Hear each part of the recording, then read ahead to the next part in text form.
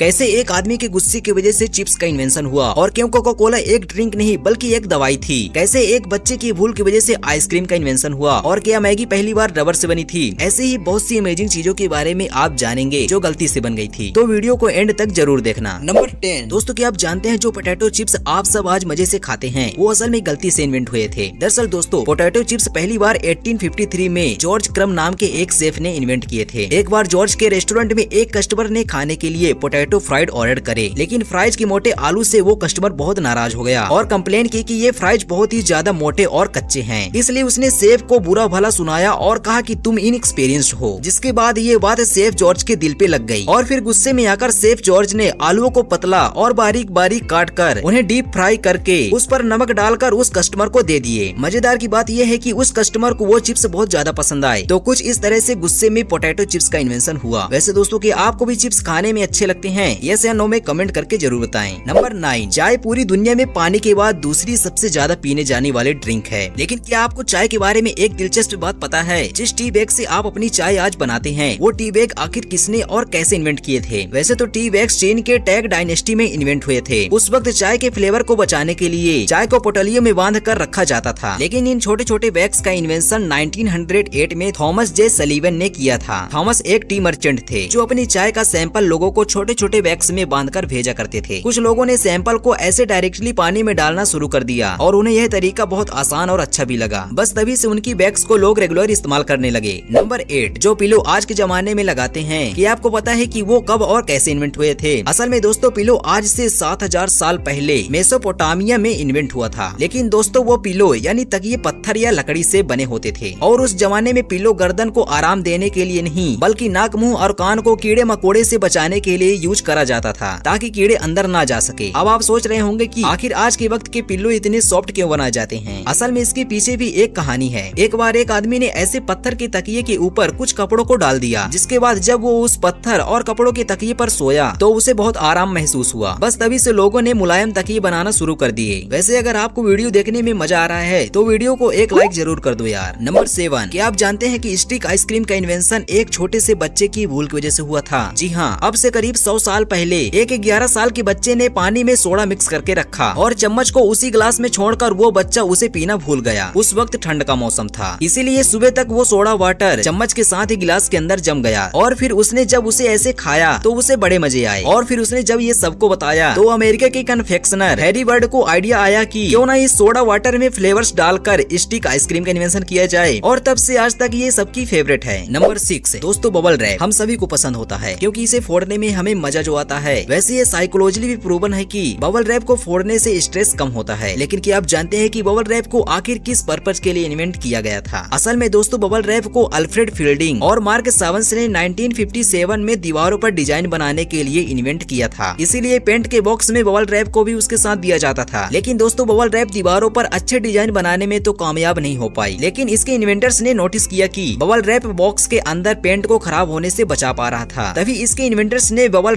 को wall paint करने की जगह पैकेजिंग में इस्तेमाल करने का फैसला कर लिया। और तब से अब तक बबल रैप को आप हर एक पैकेजिंग के अंदर देख सकते हैं। नंबर फाइव क्या आप जानते हैं कि सबकी most favourite drink Coca Cola को इन्वेंट करने का पर्पज सर दर्द और एंजाइटी को दूर करना था। कोका कोला को जॉन स्ट्रीट पेम्बर्टन ने सर दर्द के सिरप के लिए इन्वेंट किया था। लेकिन जब वो ये सिरप बना रहे थे, तब गलती से उनके मिक्सर में कार्बोनेटेड वाटर गिर गया था। जब जॉन ने इस सिरप को टेस्ट किया तो उन्हें इसका टेस्ट बहुत अच्छा लगा। बस तभी से आज तक कोका कोला का एग्जिस्टेंस बना हुआ है। Number four. आज आपको गैस जलानी हो या सिगरेट आपको मैचेस की ज़रूरत पड़ती है। लेकिन क्या आपको पता है कि मैचेस का इन्वेंशन कैसे हुआ था? मैचेस का इन्वेंशन 1826 में जॉन वॉकर नाम के एक केमिस्ट ने किया था। एक दिन जॉन हमेशा की तरह केमिकल की मदद से मेडिसिन बना रहे थे। जॉन लकड़ी की छोटी छोटी स्टिक की मदद से केमिकल को मिला रहे थे। तभी एक स्टिक पर केमिकल लगा रह गया और सूख गया। जिसके बाद जॉन ने जब उस केमिकल को हटाने के लिए उस स्टिक को ज़मीन पर रगड़ा तो उसमें से आग लग गई। और इस तरह से उन्हें मैचेस बनाने का आइडिया आया। नंबर थ्री च्विंगम खाते हुए आपको हर रोज बहुत सारे लोग मिलते होंगे। लेकिन क्या आपने कभी सोचा है कि च्विंगम आखिर क्यों इन्वेंट किया गया था? क्योंकि इससे आपको कोई न्यूट्रिशन या एनर्जी तो नहीं मिलती। दोस्तों, आप जानकर हैरान हो जाएँगे कि च्विंगम का इन्वेंशन एक एक्सीडेंट था। जी हाँ दोस्तों च्विंगम को वॉल्टर ए डाइमर ने एक गलती से इन्वेंट कर दिया था। असल में वॉल्टर रबर बनाने के लिए एक्सपेरिमेंट कर रहे थे। लेकिन जब उनका एक्सपेरिमेंट पूरा हुआ तो उन्हें बबल वाली कोई रबर जैसी चीज़ दिखी। इसके अंदर बाद में फ्लेवर और कलर एड करके उसे च्विंगम का नाम दे दिया। असल में बबल की वजह से ये प्रोडक्ट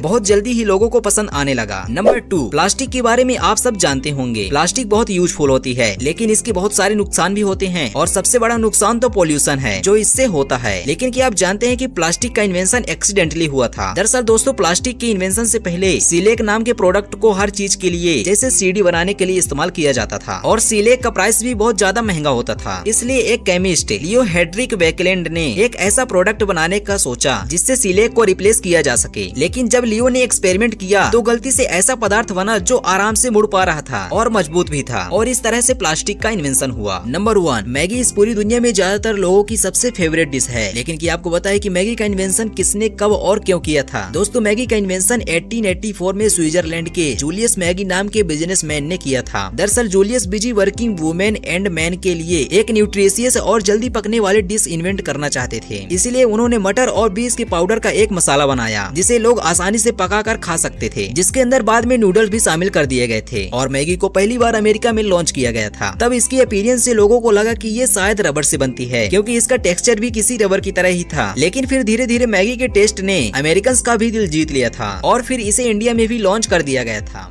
तो दोस्तों, अगर आपको ये वीडियो अच्छा लगा हो तो वीडियो को एक लाइक करने के साथ ही हमारे चैनल को सब्सक्राइब ज़रूर करें, क्योंकि हम आपके लिए इसी तरह के कंटेंट लाते रहेंगे। और मिलते हैं किसी नेक्स्ट वीडियो में, तब तक के लिए बाय